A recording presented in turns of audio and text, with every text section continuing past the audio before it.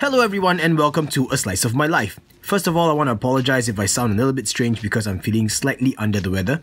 But anyway, in front of us we have two beautiful boxes and clearly you can see it's from Damned Designs. You guys already know my girlfriend loved the stainless steel Triad so much I gave it to her and the brass Triad was won by someone in a giveaway so I actually don't have a Triad anymore. So when the pre-orders open up for a second batch of Triad at Damned Designs, definitely I jumped on it and this is it. But at the same time, Adrian D'Souza, he's the man behind Damned Designs, he reached out to me and said, I'm gonna send you a Turbulence because I want you to give it a review. So I said, wow, that's such an honor from the Triad and now the Turbulence it'll be my pleasure and a huge honor to me. And so I have the Turbulence here with me as well. And I do believe that this might be one of the first looks at the product version of the Turbulence. Now to start things off by showing you the updated Triad. Updated because I believe that Adrian has made some improvements to the buttons, but I wanted to share with you guys this new beautiful packaging. Look, it's it's still wood, but look at the underside. There are four little sponge legs that really just offer some grip and it feels good when you put this down on the table. Next, the box design has been updated. It is not the older version with the cutouts. This has a very nicely printed on Damned Designs logo, but check this out. It is still a magnetic lip, but look at this. It's hinged now this way. It's different from the older one. Look at how beautiful those hinges are. It's crazy. What? And then inside you get a pouch and of course a Damned Designs name card. And at the bottom, you actually have a layer of felt. And this is really, really nice.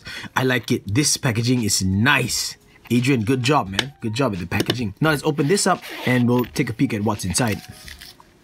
Oh, nice. Guys, I've not opened this up before, so uh, this is my, really my first impressions on this thing. We got a spare stainless steel bearing. Looks like a stainless steel bearing. I'm not so sure if it's a hybrid ceramic, but anyway, we've got a spare bearing. And we have two things here. Oh, these are extra buttons. Wow. Oh, wow. Okay, these are the circular buttons, and they now apparently feature... Okay, what am I doing? Just take it out of the packet. I guess I got a little bit too excited.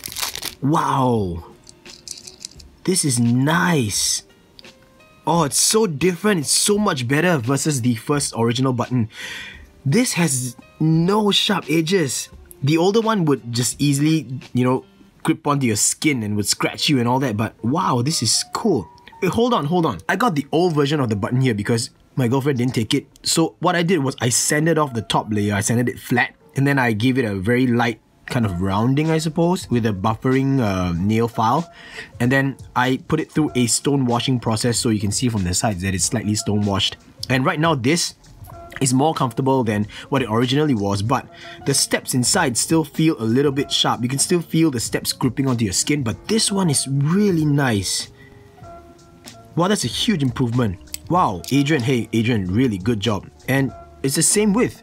Amazing. Nice, very, very nice. This angled cut here, this huge chamfered edge, so comfortable. Versus this, wow. It still features the same lip.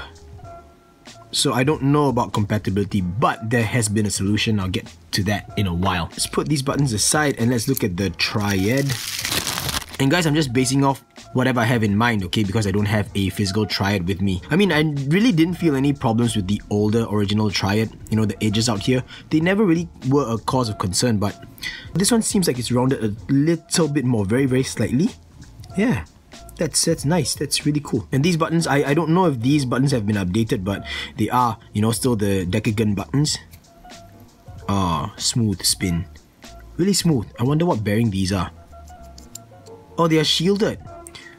Hmm, I guess I have to find out what bearings these really are because apparently they look like they're shielded and they look like they might be lubricated as well. That's why we're getting such a smooth, silent spin. But nice touch by Adrian to actually provide a second bearing that is de-shielded and I presume that it's dry so that you could choose whether you want something a bit louder but better spin times or softer and quieter and smoother.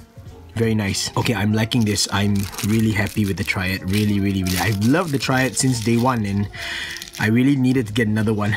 now with that out of the way, let's talk about this baby over here. I have not seen the Turbulence. I've only seen it in pictures and I've seen it in the renders and all that kind of stuff, but I want to see it in person and finally it's here. So uh, I'm really excited about this. Let's just open this up. Same packaging as you guys can see. Very beautiful box as well. We got the name card, Damned Designs name card. We got this pouch and uh, this is the moment of truth. Here we go. Oh, nice. Oh, oh wow, hey, What? Okay, wait, wait a minute, wait a minute. These buttons are different. They don't have the lip on the inside and it's angled two ways. Wow.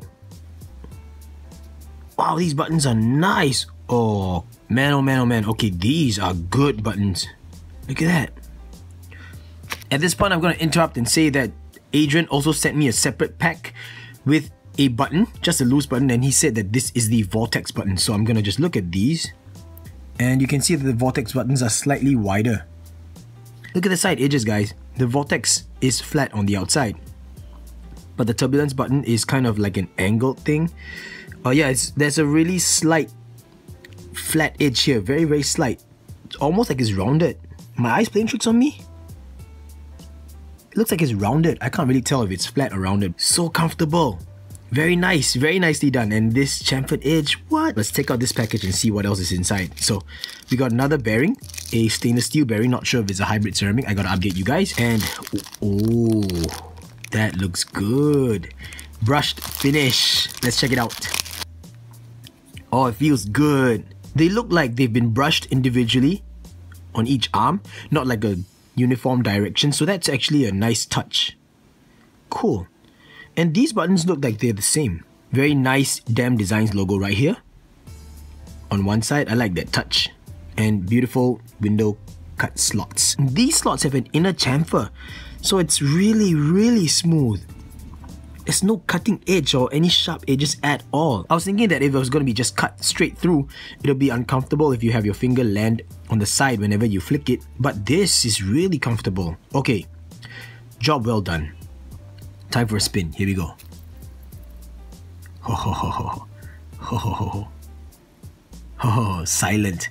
Silent. That's because I'm assuming that it is a shielded, lubricated bearing. Wow. Okay, I'm gonna change the direction. And let's see. Oh, this feels good as well. Wow. Okay. Forward flicks with this is nice. See how it kind of hugs your finger right here? I like that hugging feeling. Wow, this is nice. Right here. Oh, goodness. Goodness, this feels so good.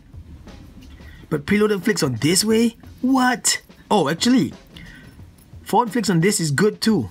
Wow. Okay guys, I'm thoroughly impressed with this. I didn't expect it to be this fun to fidget with. At first when Adrian showed me the design, it was really based after I believe a pinwheel. And so I was like, mm, looks kind of plain. And initially he didn't even have these window cut slots and I was like, hmm, is there a way to make it, I guess, a little bit more visually appealing and then this is cool. Uh, you can see the area where it's machined out for the raised parts. But it's smooth. And these, uh, I guess these curves here kind of reminds me of the Zentrine Nano where it's really, really well done, well rounded. I don't know, good job, really good job. Wow, this is this is something else. This is something else. Okay, you know what? I'm gonna try and change the bearings out, and I'm gonna use one of those de-shielded bearings. Pop this out, grab the other bearing, pop it right in. There. Let's try it with the vortex buttons. Hey, they cover up the outer edges a little bit more. Okay, comparison guys. Ah, nice. So this one you actually see more of the dip going in, the standard buttons. And with the vortex buttons you get, yeah, you get it a little bit wider, just very slightly, but it covers up the outer lip a little bit more. So I think to be fair, I'm going to try it with the original buttons first. Here we go. Oh, guys. Guys, this is goodness in the hand. what? Oh, really, really smooth. Okay, I'm gonna spin this right here and grab my stubby. Hold on.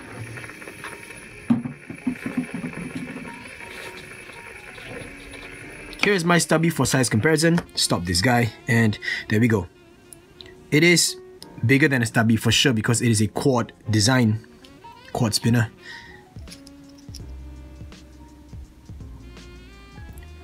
Nice, eh? Oh, I'm digging it. I'm digging it a lot. I am thoroughly impressed. From the finish, to the cutouts, to the buttons, I'd expect nothing less from a quad spinner. This is nothing less. I mean, there are not a lot of quad spinners out there in the market. Let's just be real with that. And this, I really like this. This is really good.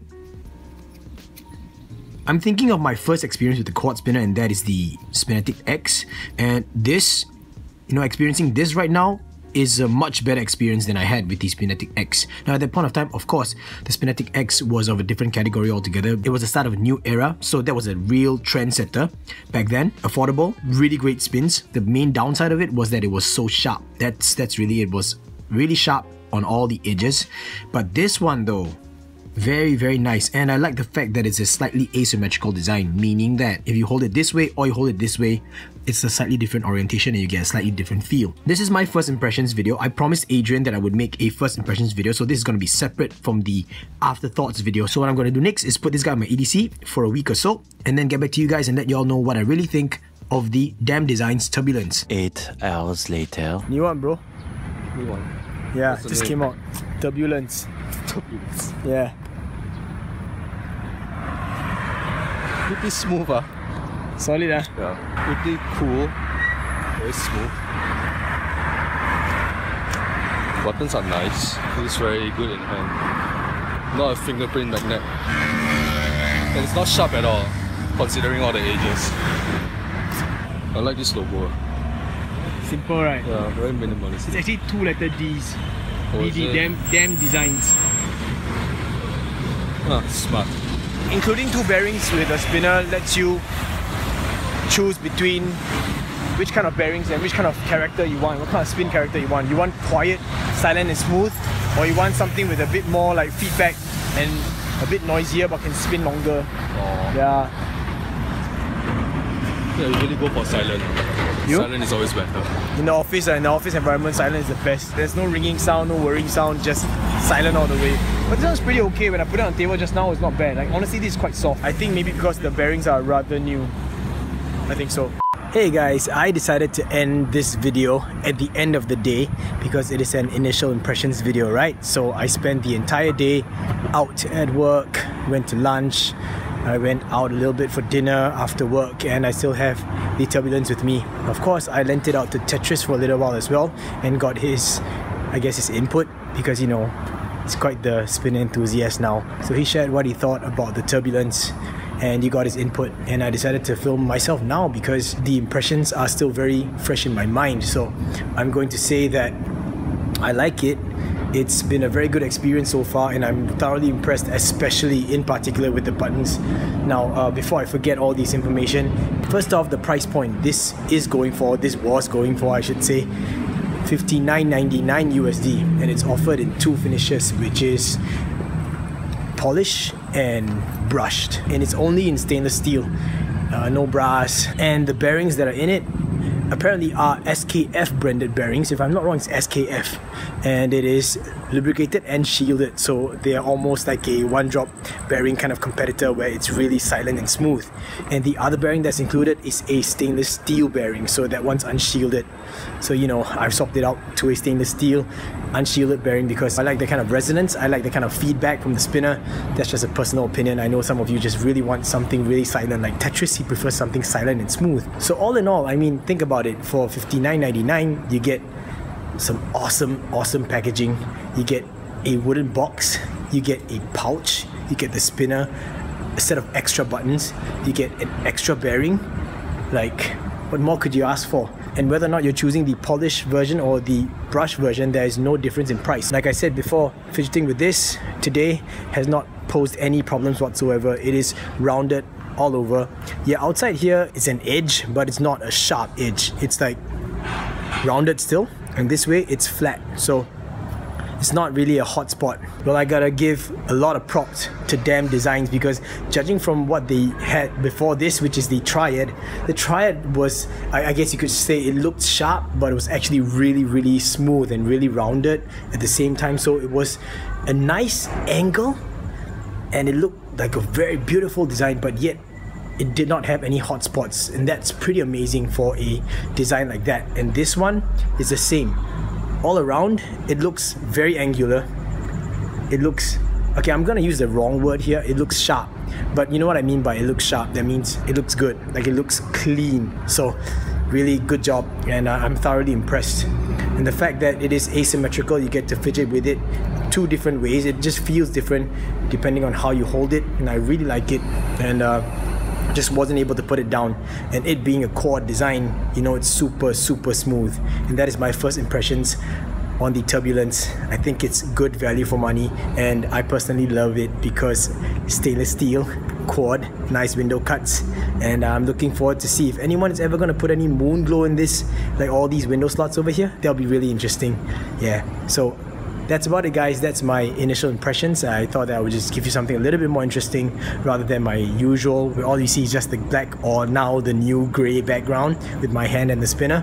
Thought i would just immediately whip out my camera and record down my findings and my impressions on this. Yeah. So that's about it. I'll catch you guys in the next slice of my life. Bye